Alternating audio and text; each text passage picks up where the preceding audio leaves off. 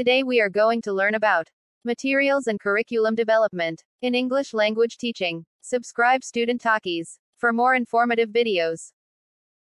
Materials could be anything that promotes learning. Materials are powerful stimuli. For generating learning, a more dynamic approach would be one which selects materials for their potential. Examples of materials are newspaper, pamphlet, movies, books, ads, notices.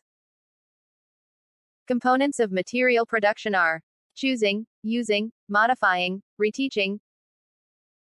Choosing. Materials must be used as per the need of the learners. Using. Materials should be used in the classroom. And analyze the result. Modifying. Modifying the syllabus as per the need of the learners.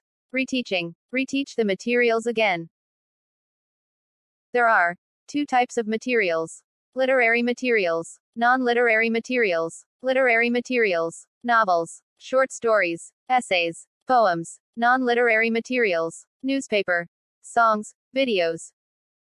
Advantages of literary materials. Literary materials is also called as authentic materials. Writers wrote only for pleasure of readers because it was written by native speakers. It was flawless, perfect in language use.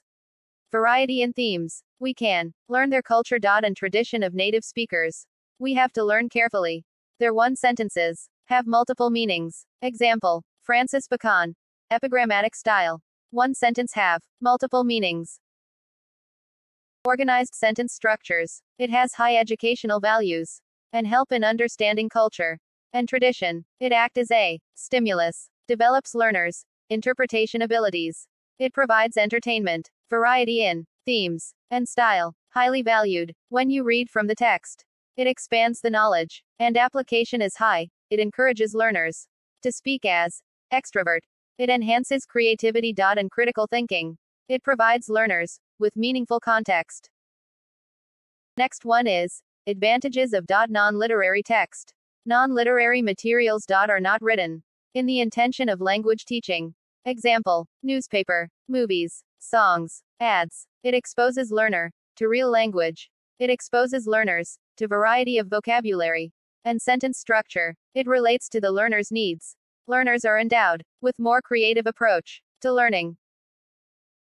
Advantages. Reading a literary text includes searching for motifs, metaphors, and symbolism. But reading and analyzing a non-literary text is quite different. Analyzing a non-literary text requires confirming the facts, gaining knowledge, developing skills, and performing tasks.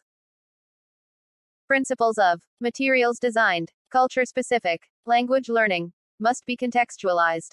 Language used in general, text must be authentic and realistic. It must deal with written and spoken language.